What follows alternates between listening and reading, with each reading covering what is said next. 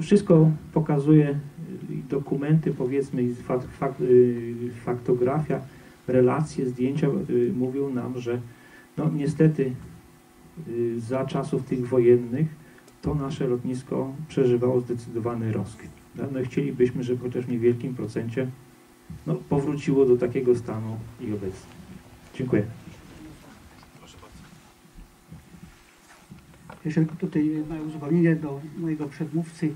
Tu była taka mapa, że zdjęcie lotnicze to, to takie słynne zdjęcie lotnicze, które wykonał e, niemiecki lotnik Waffe Hans Becher e, 23 lutego, czyli już po, po zdobyciu Elbląga przez e, wojska sowieckie.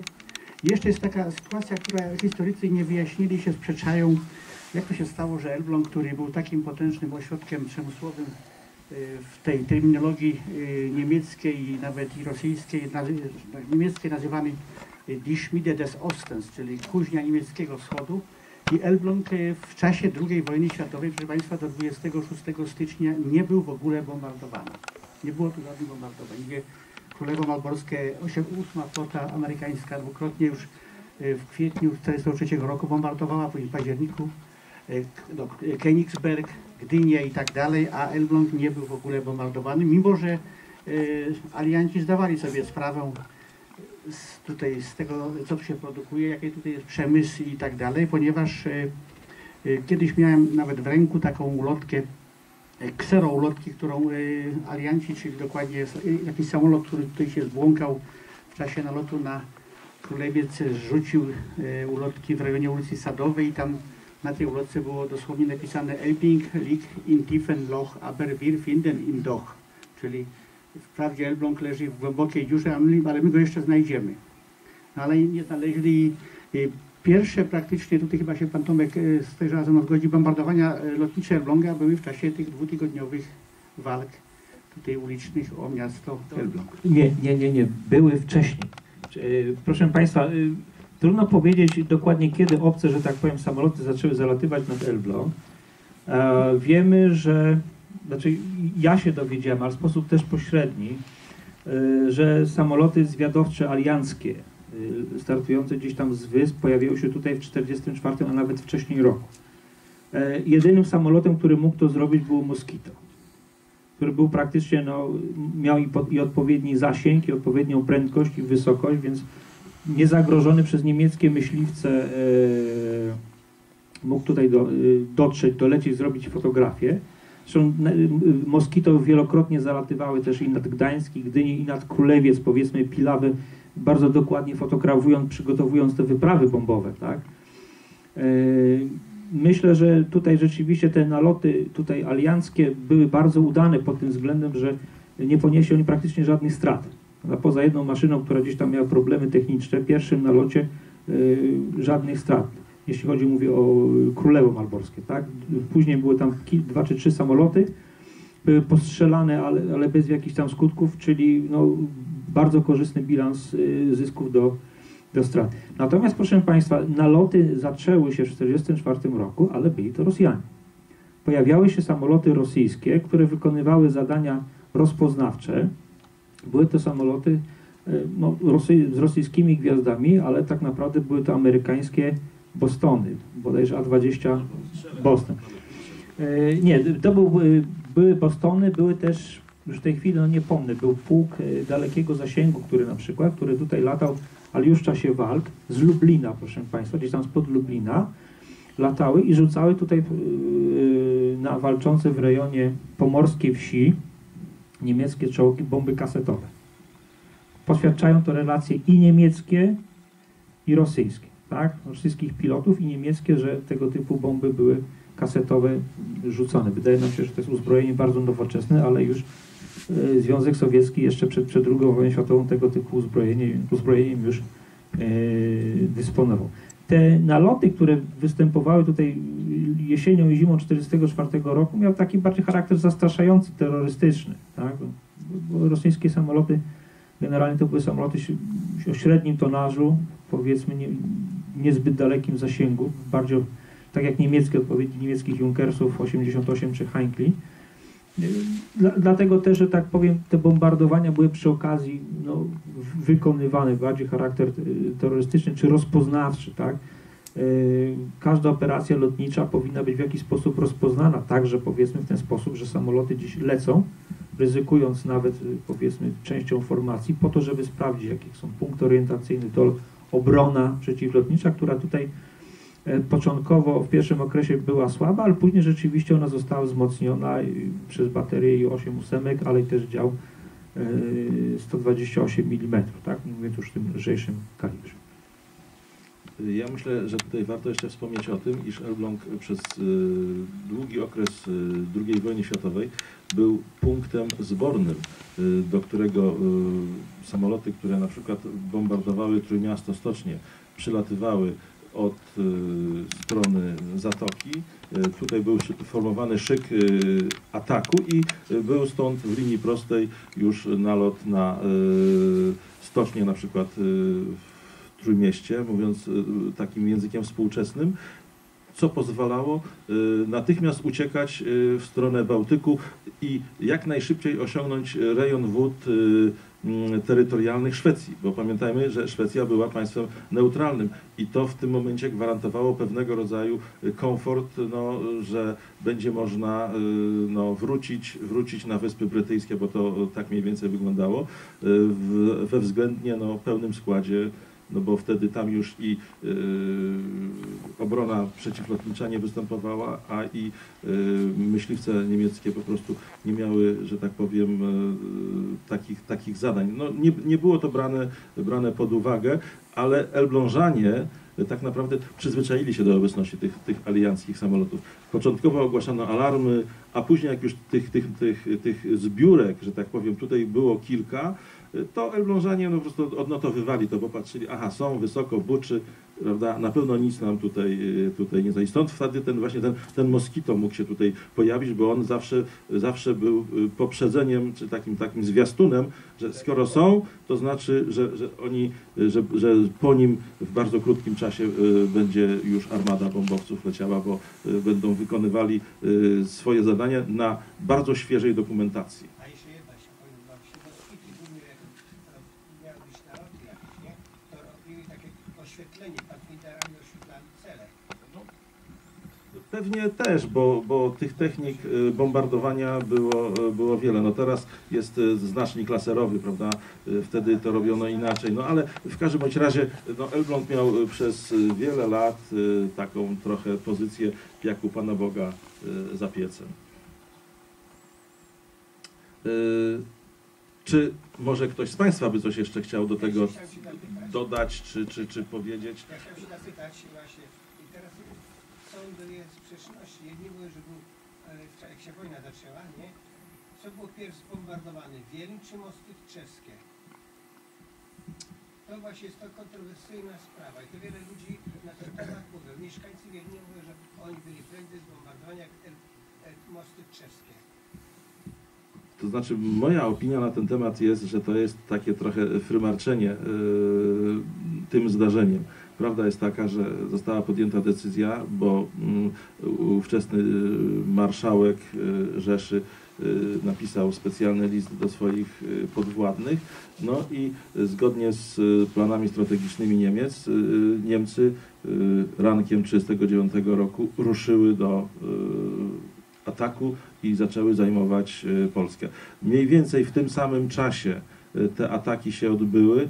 No i teraz, no jeśli powiedzmy będziemy się upierali, że to pierwsi e, startujący lotnicy z Elbląga zaatakowali, a nie e, to miasto, e, czy odwrotnie, to specjalnie niczego nie zmieni, to jest tylko i wyłącznie pewnego rodzaju e, no, ciekawostka i, i odnotowanie. Ja nie chcę tutaj zabierać w sposób taki jednoznaczny głosu, że ja mam rację w tym, co powiedziałem, ale to jest, to jest taka dosyć y, swobodna, y, no, że tak powiem, interpretacja tego, tego wydarzenia. Być może tutaj panowie, którzy ze mną uczestniczyli w tym spotkaniu, będą mieli coś do powiedzenia na ten temat, ale myślę, że, że, że ten, ten mój taki dosyć dosyć y, y, mm, no, swobodny, że tak powiem, y, kontekst w, w tym pytaniu.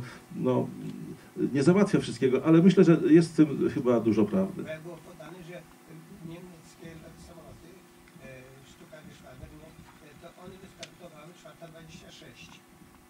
Kilkanaście minut leciały do No tak, ale musimy pamiętać o tym, że tego dnia była fatalna, fatalna pogoda. Między innymi doszło do katastrofy, jedna załoga zginęła, dlatego że e, według e, pewnego e, schematu wykonywania lotu w Elblągu po starcie w kierunku wschodnim należy wykonać krąg w prawą stronę.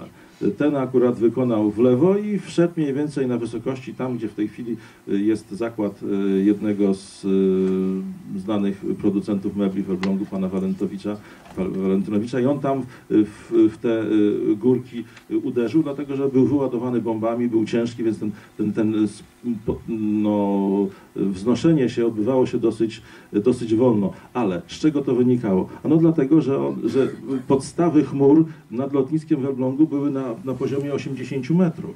Więc cały lot y, to jest tych 40 parę kilometrów, to jest dla tej prędkości samolotu to jest 8 do 10 minut y, ten lot do, do Tczewa. Ale w związku z tym, że y, wykonywali go rano, wykonywali go jeszcze wtedy, kiedy była niska podstawa, niedoświetlone y, obszary były i sprowadzając samolot na wysokości poniżej 100 metrów, wykonywali to, y, no, ten lot w bardzo mocnym napięciu nerwowym. Musieli uważać prawda, na, na wysokie drzewa i, i te inne historie. I co y, jeszcze tutaj występuje takie zjawisko y, na obszarze żuław, gdzie tereny są do siebie bardzo podobne, więc nawigowanie było no, dosyć skomplikowane i być może to też mogło wydłużyć ten dolot na przykład nie 10 minut, a 12.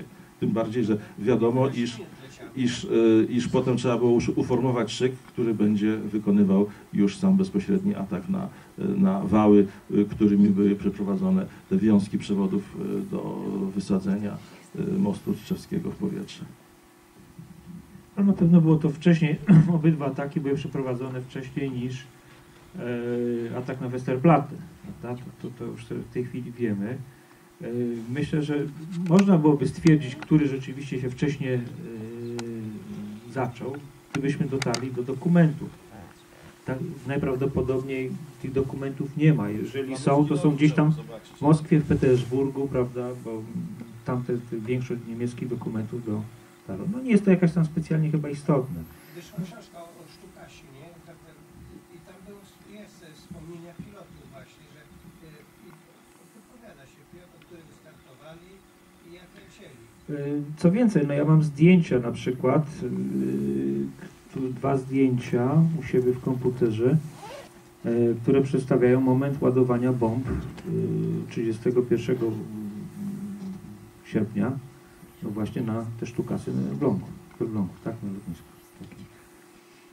Jest to, jest to ciekawe. No też jest niepotwierdzona y, taka wersja, powiedzmy, zdarzenia y, z, z, z obrony y, Westerplatte, czyli bombardowania, także te sztukasy, które atakowały Westerplatte, startowały z Elbląga.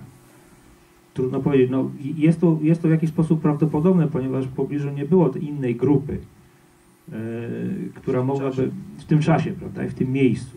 Może gdzieś tam jakieś były przegrupywane, ale najprawdopodobniej te, te, te samoloty delaya to mo, mo, mogły, to, mogły być użyte. Tak? coś to powiem na temat właśnie tej akcji, bo tu chodziło e, pilotom niemieckim, bo za- zadanie otrzymali, żeby e, zbombardować bombami rozpryskowymi te mosty, żeby ich nie uszkodzić, aby tylko poprzerywać e, lądy, e, to znaczy przewody do odpalania, ale Polacy zdążyli, no i niestety nie udała się akcja Niemcom. Znaczy akcja, akcja się właśnie udała i to Edward tutaj podkreślał, także y, mimo, mimo bardzo ciężkiej pogody tak, i trudnego dolotu ci piloci no, wykazali tam swoje mistrzostwo, ponieważ taki samolot musiał się zbić na pewną wysokość, prawda, w chmury i później z tych chmur przejść, przebić się w odpowiednim miejscu rzucić tą bombę, żeby ta bomba trafiła. Bardzo ryzykowny lot, prawda? I oni to wykonali. No, Polacy zdążyli naprawić te, te przewody, prawda, i wysadzić most. Tak? Natomiast nalot jako taki był nalotem udany, tak? Czyli w tym kontekście trzeba było powiedzieć o bohaterstwie y, żołnierzy kapitana Jankowskiego, który y, był oddelegowany do obrony mostu w Tczewie i y, zdetonowania ładunków, które były założone. Więc w momencie, kiedy faktycznie po tym pierwszym ataku te przewody zostały przerwane, Żołnierze podjęli natychmiast akcję i zostały przewody połączone i można było zdetonować most wtedy, kiedy już było wiadomo, że, że ten y, desant, y, który jechał od strony Malborka y, y, i przez Szymankowo nie będzie mógł być y, użyty, bo to już żadna tajemnica w tym momencie była, no to y, kiedy y, no, przekalkulowano, że tak powiem, y, siły, środki z jednej i z drugiej strony, no zdecydowano się na to, żeby jednak y, y, zdetonować ładunki. Została jedna część mostu no, zniszczona, żołnierze się wycofali, potem były ataki nad Trzewno i jednostki Wojska Polskiego musiały to miasto opuścić. Jak y, Niemcy jechali to pociągiem, nie? Tam był właśnie w tym włączony był pociąg pancerny, improwizowany, taki zrobiony z węglarek, taki pancerzony i taki lekki pociąg pancerny właśnie szedł właśnie opanować już to z desantem. Czy ktoś z Państwa jeszcze by coś y, miał do dodania? Czy y, widzę, że jest y, takie głębokie, wieloznaczne milczenie i proszę Państwa, zatem będziemy się zbliżali do końca, ale ja mam jeszcze jedną rzecz, którą muszę Państwu wyjaśnić. W tym tytule było coś takiego, latanie jest przyjemne. Proszę Państwa, faktycznie jest to coś, co można porównać no, dzieciaczki są na sali, to raczej nie powinienem w tą stronę pójść, ale w każdym bądź razie to jest coś w rodzaju takiej ekstazy. Ale z drugiej strony, proszę Państwa, y, to jest tak jak ze wszystkim. Latanie może się odbywać różnie.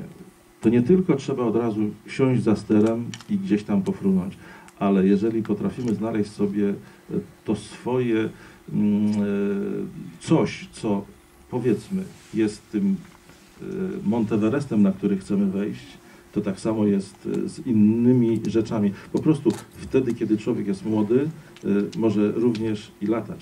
Później z tym lataniem zaczyna się już e, trochę mm, bardziej komplikować i trzeba sobie znaleźć takie miejsce, taką niszę, gdzie te pewne przyjemności podobne do latania można również odnaleźć. I myślę, że y, moi tutaj y, panowie, którzy y, wspomagali mnie tutaj w tym wystąpieniu, również na tym dzisiejszym, podczas tego dzisiejszego spotkania udowodnili, że to jest możliwe.